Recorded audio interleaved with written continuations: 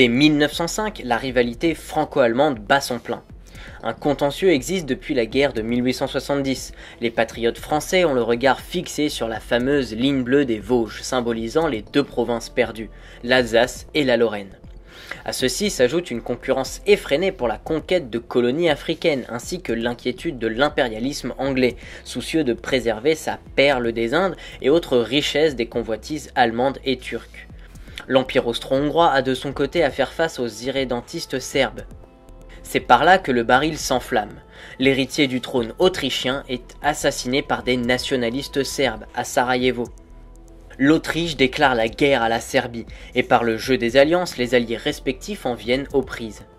Toute l'Europe s'embrase en août 1914. Quelle est l'attitude des organisations ouvrières des pays protagonistes? D'abord et avant tout en Allemagne, le pays où le mouvement socialiste est le plus fort, le Parti social-démocrate ayant 110 députés sur 400 et près de 4 millions de voix. Les syndicats qui en sont directement dépendants comptent eux plus de 3 millions de membres. Eh bien, 40 années de collaboration de classe ont tellement intégré la social-démocratie à sa bourgeoisie nationale qu'elle vote unanimement, frénétique et enthousiaste, le 4 août 1914, les crédits pour la guerre. Comment expliquer cette prise de position en porte-à-faux avec toutes les résolutions des congrès internationaux des partis socialistes? Il y a la difficulté de tenter de mobiliser la classe ouvrière allemande au moment même d'une mobilisation militaire et surtout la menace d'anéantissement de toute l'activité sociale démocrate, si laborieusement édifiée depuis des décennies. Il y a encore le sentiment généralement répandu chez les syndicats allemands, riches et puissants, de la solidarité étroite des intérêts ouvriers et capitalistes dans les développements industriels et commerciaux de l'Empire. Enfin, il y a le phénomène important de la notion de guerre défensive contre la horde barbare du tsarisme, symbolisant la féodalité et la réaction. Dans l'Empire russe, en pleine expansion économique, le mouvement ouvrier augmente numériquement et politiquement. À la veille de la déclaration de guerre, un mouvement de grève touche 250 000 ouvriers à Saint-Pétersbourg. L'autocratie se débat avec toutes ces contradictions nées de la survivance de privilèges féodaux, de la croissance économique, des mouvements nationalistes de ces nombreuses colonies. Finlande, Pologne, Ukraine, Caucase, Asie, etc. Rien de tel qu'une bonne petite guerre pour refaire l'unité nationale et restaurer l'autorité défaillante du pouvoir d'État. C'est ce que se disent Nicolas II et son entourage. Le pari réussit en bonne partie. De nombreux social-démocrates, Plekhanov en tête, prennent la défense de la patrie menacée par l'impérialisme allemand. Les socialistes révolutionnaires les rejoignent en masse. Certains anarchistes, tels Kropotkin et Tcherkezov, vivant pourtant en exil, embrassent aussi la cause des Alliés, espérant une transformation du régime à la suite d'une victoire. Un petit nombre de social-démocrates, dont Lénine est la tête pensante, prônent au contraire un défaitisme révolutionnaire, c'est-à-dire qu'à travers la victoire des empires centraux, il entrevoit la chute du tsarisme et une possibilité de rénovation sociale. En Angleterre, les trade unions, forts de plus de 3 millions de membres, et les socialistes, disposant de 50 députés, sont hostiles à la guerre et n'y prennent part qu'en traînant les pieds. Plusieurs pays européens adoptent la neutralité, l'Italie, du moins au début, la Hollande et les pays scandinaves, enfin l'Espagne et le Portugal. En France, le problème est plus ardu à résoudre va pour les socialistes qui, malgré l'assassinat de Jaurès, l'apôtre de la paix, retrouvent les accents des soldats de l'an 2 et les communards de Paris pour bouter hors les envahisseurs allemands. Gustave Hervé, l'insurrectionnel du Parti socialiste, celui qui avait planté le drapeau tricolore dans le fumier, se transforme en ardent cocardier.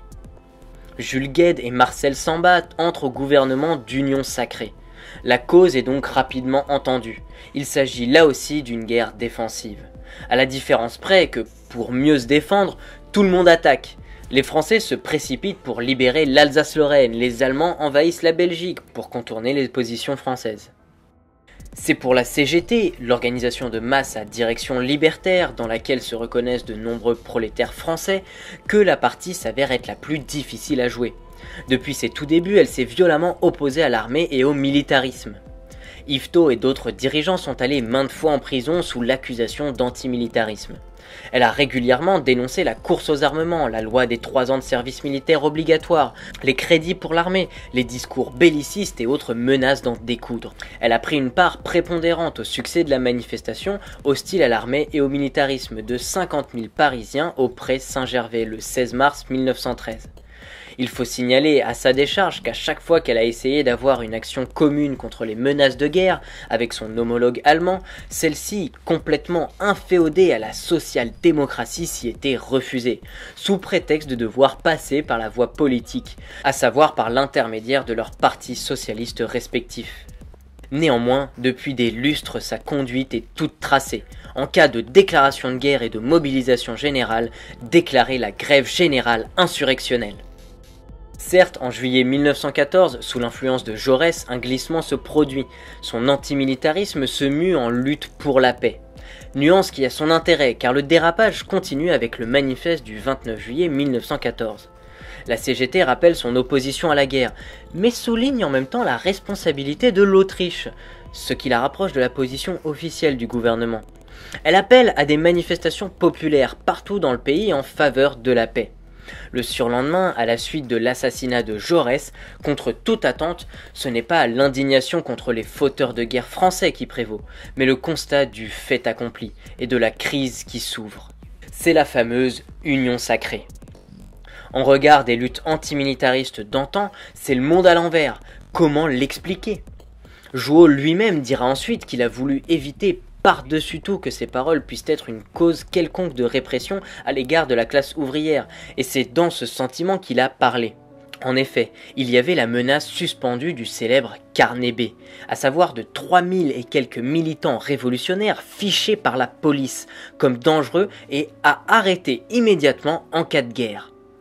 Le ministre de la guerre et général Messimi avait publiquement menacé de coller contre le poteau d'exécution les meneurs de la CGT et d'envoyer au camp de concentration les militants antimilitaristes. Ce n'étaient pas des paroles en l'air, la soldatesque étant alors toute puissante. Dumoulin, secrétaire adjoint de la CGT, adversaire de l'Union sacrée, ne mâche pas ses mots. Il affirme que c'est la peur qui a provoqué le revirement de la majorité du comité confédéral de la CGT, on a eu peur de la guerre, on a eu peur de la répression, simplement parce qu'on est des hommes, comme les autres. Malgré la marée cocardière, il y avait une minorité ouvrière prête à agir, et si le comité confédéral de la CGT avait proclamé envers et contre tout la grève générale contre la mobilisation, il aurait été d'abord fidèle à lui-même et à la stratégie suivie depuis des années. Ensuite, une réaction prolétarienne aurait tempéré l'ardeur guerrière.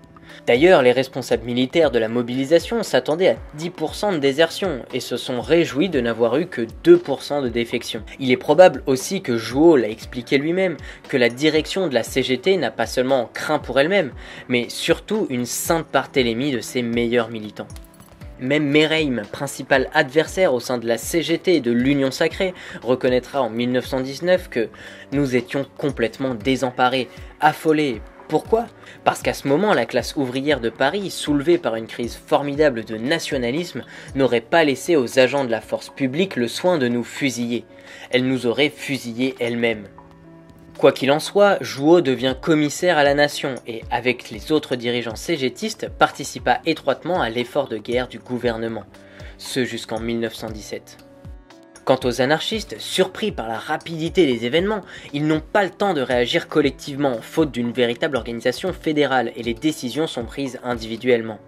Certains se laissent mobiliser, d'autres désertent et partent à l'étranger.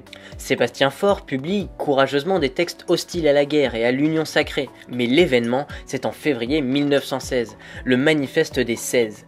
15 en fait, la localité ayant été prise pour un nom de personne, en faveur des alliés contre l'Allemagne. Parmi les signataires figurent des militants en vue Kropotkin, Grave, Malato, Paul Reclus, Marc Pierrot, Cornelissen et Tcherkezov. Leur déclaration est contresignée par une centaine d'autres anarchistes, dont la moitié d'Italiens. Au début des hostilités, tout le monde était profondément persuadé de la brièveté de la guerre. En France, certains enthousiastes se voyaient en trois semaines à Berlin, encouragés par la masse déferlante de l'armée russe.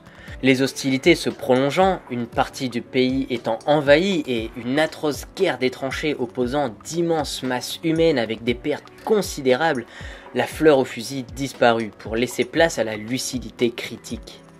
Beaucoup s'aperçurent alors comment ils s'étaient fait berner par le bourrage de crâne. Il ne s'agissait plus de mener la der des des guerres pour faire la paix éternelle, mais de servir de cobaye à d'effroyables machines à tuer et de se faire massacrer pour que quelques généraux soient constellés de médailles. La guerre fraîche et joyeuse devint pour tous une horrible boucherie où périrent un grand nombre d'hommes dans la force de l'âge. Du côté russe, les premiers succès avaient vite fait place à des désastres sans nom toutes les tares du régime autocratique apparurent spectaculairement aux yeux de tous.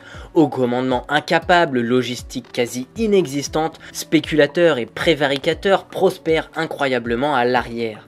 Afin de soulager le front occidental, l'état-major russe envoyait à l'attaque de positions allemandes inexpugnables hérissées de mitrailleuses et de canons des soldats munis de mauvais fusils, avec quelques cartouches, cela sans aucune préparation d'artillerie, faute d'obus très souvent. La grande faucheuse se régalait. Les millions de morts et de blessés sur le front russe provoquèrent un mouvement d'indignation de plus en plus profond. Début 1917, un incident anodin, le refus d'une unité de Caucase de réprimer une manifestation d'affamés à Pétrograd, fait s'écrouler comme un château de cartes le régime tricentenaire des Romanov. Un gouvernement provisoire lui succède, incapable lui aussi de mettre fin à la tuerie.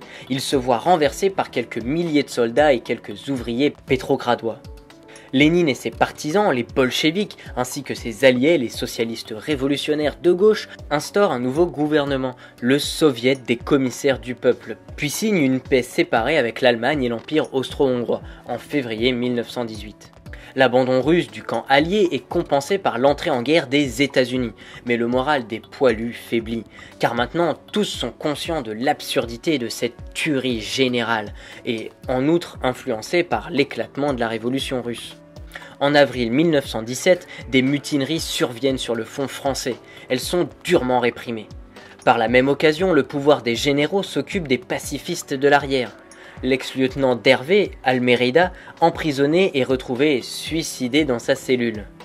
Il n'est pas mauvais de rappeler qu'il y a eu des anarchistes conséquents, en fait les plus nombreux dans le mouvement, qui ne faillirent pas à leurs convictions, contrairement à l'opinion répandue par les détracteurs bolcheviques dont la tendance constante a été de mettre en avant la seule attitude des 16 ralliés à l'Union sacrée.